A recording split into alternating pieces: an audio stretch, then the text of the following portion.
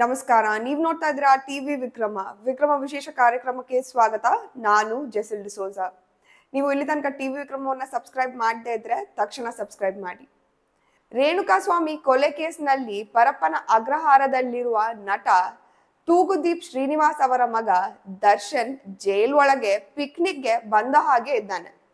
ಜೈಲಾಧಿಕಾರಿಗಳಿಗೆ ದುಡ್ಡು ಕಾಸು ಕೊಟ್ಕೊಂಡು, ಸಿಗರೆಟ್ ಹೊಡ್ಕೊಂಡು ಟೀ ಕುಟ್ಕೊಂಡು ತನ್ನಂತೆ ಇರುವ ರಿಯಲ್ ಲೈಫ್ ವಿಲನ್ಸ್ಗಳ ಜೊತೆಗೆ ರೌಂಡ್ ಟೇಬಲ್ ಕಾನ್ಫರೆನ್ಸ್ ಮಾಡಿಕೊಂಡು ಆರಾಮಾಗಿದ್ದಾನೆ. ಇಂತಹ ರಾಯಲ್ ಟ್ರೀಟ್ಮೆಂಟ್ ಸಾಮಾನ್ಯ ಕೈದಿಗಳಿಗೆ ಸಿಗುತ್ತಾ ಅನ್ನುವ ಅನುಮಾನ ಅಂತೂ ಇದ್ದೇ ಇದೆ. ಆ ಫೋಟೋ ನೋಡ್ಕೊಂಡು ದರ್ಶನ್ ಅಭಿಮಾನಿಗಳು ಸಿಂಹ ಎಲ್ಲಿದ್ರು ಸಿಂಹನೇ ಅನ್ನುವ ಪೋಸ್ಟ್ ಹಾಕಿಕೊಂಡು ಆತ ಒಬ್ಬ ಮೃಗ ಅಂತಲೇ ಹೇಳಿದ್ದಾರೆ. ಆದ್ರೆ ವಿಚಾರ ಅದಲ್ಲ. ದರ್ಶನ್ ಕೊಡುವ ಎಂಜಿಲ್ ಕಾಸಿಗೆ ಆಸೆ ಪಟ್ಟ ಅಧಿಕಾರಿಗಳು ಒಟ್ಟು ಒಂಬತ್ತು ಮಂದಿ ಸಸ್ಪೆಂಡ್ ಆಗಿದ್ದಾರೆ. ಹರ್ಷದ ಕೂಳಿಗೆ ವರ್ಷದ ಕೂಳನ್ನ ಕಳೆದುಕೊಂಡ ಮೂರ್ಖರು. ಸರ್ಕಾರಿ ಸಂಬಳ ಎಣಿಸ್ತಾ ಇದ್ರೂ ಕೂಡ ಗಿಂಬಳಕ್ಕಾಗಿ ದುಡಿಯೋರು.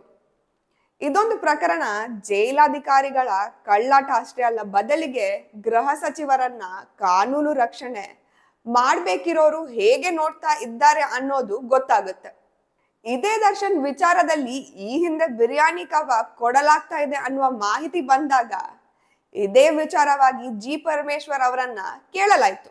ಆಗ ಪರಮೇಶ್ವರ್ ಅಂತಹ ಯಾವ ವಿಶೇಷ ಆತಿಥ್ಯ ದರ್ಶನ್ಗೆ ಇಲ್ಲ ಅಂದಿದ್ರು. ಆದ್ರೆ ಜೈಲ್ ಒಳಗಿನ ಕಳ್ಳಾಟವೇ ಹೋಮ್ ಮಿನಿಸ್ಟರ್ಗೆ ಗೊತ್ತಿಲ್ಲ ಅಂದ್ರೆ ಅದೆಂತ ಅಸಮರ್ಥನನ್ನ ಇಡೀ ರಾಜ್ಯವನ್ನ ಕಾಯುವ ಖಾತೆ ಕಾಂಗ್ರೆಸ್ ಹೈಕಮಾಂಡ್ ನೇಮಕ ಮಾಡಿದೆ. ಅತ್ತ ರಾಜ್ಯಪಾಲರಿಗೆ ಬೆದರಿಕೆ ಬಂದಿರೋದು ಗೊತ್ತಿರೋದಿಲ್ಲ. ಇತ್ತ ಕ್ರೈಮ್ ರೇಟ್ ಏರಿಕೆ ಆಗಿದ್ದು ಗಮನದಲ್ಲಿ ಇಲ್ಲ. ಈ ಮಧ್ಯ ಪರಪ್ಪನ ಅಗ್ರಹಾರದಲ್ಲಿ ನಡೀತಾ ಇರುವ ರಾಯಲ್ ದಂಧೆ ಬಗ್ಗೆ ಮಾಹಿತಿಯೇ ಇಲ್ಲ. ಇರುವ ಮಾಹಿತಿ ಏನು ಆಗಿದ್ರೆ ತಮ್ಮದೇ ಖಾತೆ ಅಡಿಯಲ್ಲಿ ಬರುವ ಜಾಗದಲ್ಲಿ ಈ ಪರಿಯಲ್ಲಿ ಅವ್ಯವಹಾರಗಳು ನಡೀತಾ ಇದೆ. ಇಂಥವರಿಂದ ಮೃತನಿಗೆ ನ್ಯಾಯ ಸಿಗುತ್ತೆ ಅಂತ ನಿಮ್ಗೆ ಅನ್ಸುತ್ತಾ? ಹಾಗೆ ನೋಡಿದ್ರೆ ಜೈಲ್ ಒಳಗಡೆ ಜಾಮರ್ ಹಾಕಿರ್ತಾರೆ. ಆದ್ರಿಂದ ಜೈಲ್ನ ಒಳಗೆ ನೆಟ್ವರ್ಕ್ ಜಾಮ್ ಆಗಿರುತ್ತೆ. ಆದ್ರೆ ಆರೋಪಿ ದರ್ಶನ್ ತನ್ನ ಗೆಳೆಯರ ಜೊತೆಗೆ ವಿಡಿಯೋ ಕಾಲ್ ಮಾಡೋಕೆ ಅವಕಾಶ ಇದೆ. ಇಷ್ಟೊಂದು ಲೂಪ್ ಹೋಲ್ಗಳು ಇದ್ರೂ ಕೂಡ ಇನ್ನೂ ತನಿಖೆ ಮಾಡ್ತಾ ಇದ್ದೀವಿ ಅನ್ನುವ ಹಾರಿಕೆಯ ಉತ್ತರ ಅಷ್ಟೇ ಪರಮೇಶ್ವರ್ ಅವರಿಂದ ಬರ್ತಾ ಇದೆ. ಪ್ರಿಸನ್ ಮ್ಯಾನ್ಯುಯಲ್ನಲ್ಲಿ ಏನು ನಮೂದಿಸಿದ್ದಾರೆ, ಅದನ್ನು ವೈಲೇಷನ್ ಮಾಡಿದ್ದಾರೆ. ಅದಕ್ಕಾಗಿ ಮೂರು ಎಫ್ ಐ ಆರ್ಗಳನ್ನು ರಿಜಿಸ್ಟರ್ ಮಾಡಿದ್ದೇವೆ. ಅವ್ರ ಮೇಲೆ ಕ್ರಮ ತಗೊಳ್ಳೋದು ಪ್ರಾರಂಭ ಆಗುತ್ತೆ. ಜೊತೆಗೆ ಇನ್ವೆಸ್ಟಿಗೇಷನ್ನು ಫರ್ದರ್ ಇನ್ವೆಸ್ಟಿಗೇಷನನ್ನು ಮಾಡೋದಕ್ಕೆ ಸೂಚನೆ ಕೊಟ್ಟಿದ್ದೇನೆ. ಹಿರಿಯ ಐ ಪಿ ಎಸ್ ಅಧಿಕಾರಿಗಳನ್ನು ಅದಕ್ಕೆ ನೇತೃತ್ವ ಮಾಡಿ ಅವರಿಂದ ಮುಂದಿನ ತನಿಖೆಯನ್ನು ಮಾಡ್ತೇವೆ. ವರದಿ ಬಂದ ಮೇಲೆ ಮುಂದಿನ ಕ್ರಮವನ್ನು ತೆಗೆದುಕೊಳ್ತೇವೆ. ಯಾರು ಯಾರು ಇದ್ದಾರೆ ಅಂತೇಳಿ ನಮ್ಮ ತನಿಖೆಯಲ್ಲಿ ಕಂಡು ಬರುತ್ತೆ, ಅವ್ರ ಮೇಲೆ ಮಾಡ್ತಾರೆ. ಸಣ್ಣ ಪುಟ್ಟ ರೆಸ್ಟೋರೆಂಟ್ಸ್ ಗಳಲ್ಲೂ ಕೂಡ ಎಲ್ಲ ಭಾಗ ಕವರ್ ಆಗುವ ಹಾಗೆ ಸಿಸಿಟಿವಿ ವಿ ಗಳನ್ನ ಹಾಕಿರ್ತಾರೆ. ಆದ್ರೆ ಜೈಲು ಒಳಗೆ ಮಾತ್ರ ಇಲ್ವಾ? ಸಿಸಿಟಿವಿ ಮಾನಿಟರ್ ಮಾಡೋರು ಕರಿಗನ್ನಡವನ್ನ ಹಾಕೊಂಡ್ ಕೂತಿದ್ದಾರಾ? ತನಿಖೆ ಅಂದ್ರೆ ಏನು? ದರ್ಶನ್ ಇರುವ ಸೆಲ್ ಒಳಗೆ ಯಾರು ಹೋಗಿದ್ದು ಅಂತ ಕಂಡು ಹಿಡಿಯೋದು ಅದಕ್ಕಾಗಿ ಸಿಸಿಟಿವಿ ನೋಡಿದ್ರೆ ಗೊತ್ತಾಗಲ್ವಾ? Matter of just thirty minutes, but ಸರ್ಕಾರಕ್ಕೆ ಪ್ರಭಾವಿಗಳಿಂದ ಒತ್ತಡ ಇದ್ದ ಹಾಗೆ ಇದೆ. ಹೀಗಾಗಿ ತನಿಖೆಯ ಫೈಲ್ ಅನ್ನ ಆಮೆ ಮೇಲೆ ಇಟ್ಟಿದ್ದಾರೆ. ನಿಧಾನವಾಗಿ ಸಾಕ್ತಾ ಇದೆ. ರಾಜ್ಯದಲ್ಲಿ ಇನ್ನೊಂದು ಏನಾದ್ರೂ ದೊಡ್ಡ ಸುದ್ದಿ ಬಂದಾಗ ಇದೊಂದು ಮ್ಯಾಟರ್ ಹೋಗ್ಲಿ ಅನ್ನುವ ಕಾರಣ ಕೂಡ ಇರಬಹುದು.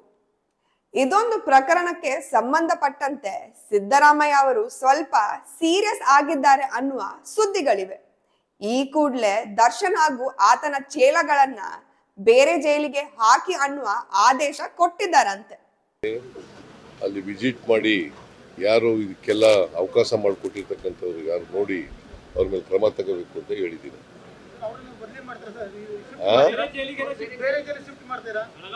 ಅದನ್ನು ಅದನ್ನು ಕೂಡ ಯೋಚನೆ ಇದೆ. ಬೇರೆ ಕಡೆ ಶಿಫ್ಟ್ ಮಾಡಬೇಕಾ ಬೇಡ ಅಂತಕ್ಕಂಥದ್ದು ಅದು ಕೂಡ ಯೋಚನೆ ಇದೆ. ಇಲ್ಲಿವರೆಗೂ ಯಾರ ಪ್ರಭಾವಕ್ಕೂ ಮಣ್ಯಲ್ಲ ಅಂದಿದ್ದ ಸಿದ್ದರಾಮಯ್ಯ ಈಗ ದರ್ಶನ್ಗೆ ಬೇರೆ ಜೈಲಿನ ಗೋಡೆ ತೋರಿಸ್ತಾರಾ? ಮೋಜು ಮಸ್ತಿ ಮಾಡೋಕೆ ಬ್ರೇಕ್ ಹಾಕ್ತಾರಾ? ಇದೊಂದು ಪ್ರಶ್ನೆ ರೇಣುಕಾ ಸ್ವಾಮಿ ಮನೆಯವರದು ಮಾತ್ರ ಅಲ್ಲ, ಇಡೀ ಕರ್ನಾಟಕದ್ದು. ಯಾಕಂದ್ರೆ ಇದು ರಾಷ್ಟ್ರ ಮಟ್ಟದಲ್ಲಿ ಸುದ್ದಿ ಆಗಿದೆ ಕಾಂಗ್ರೆಸ್ ಸರ್ಕಾರಕ್ಕೆ ಕಪ್ಪು ಚುಕ್ಕೆ ಎಂದೇ ರಾಷ್ಟ್ರೀಯ ಮಾಧ್ಯಮಗಳು ಹೇಳಿದ್ದವೆ. ಇರೋ ಸ್ವಲ್ಪ ಮರ್ಯಾದೆಯನ್ನ ಉಳಿಸ್ಕೊಳ್ಳೋಕೆ ಸಿದ್ದು ಸರ್ಕಾರಕ್ಕೆ ಇದೊಂದು ಸುವರ್ಣ ಅವಕಾಶ. ಟಿವಿ ವಿಕ್ರಮ, ದೇಶ ನಿಮ್ಮ ಕೈಯಲ್ಲಿ. ಕಾರ್ಯಕ್ರಮ ನಿಮಗೆ ಇಷ್ಟ ಆಗಿದ್ದಲ್ಲಿ ಲೈಕ್, ಶೇರ್ ಹಾಗೂ ಕಮೆಂಟ್ ಮಾಡಿ. ಟಿವಿ ವಿಕ್ರಮದ ಕಾರ್ಯಕ್ರಮಗಳನ್ನು ನಿರಂತರವಾಗಿ ವೀಕ್ಷಿಸಲು ಸಬ್ಸ್ಕ್ರೈಬ್ ಮಾಡಿ, ಬೆಲ್ ಐಕನ್ ಒತ್ತಿ.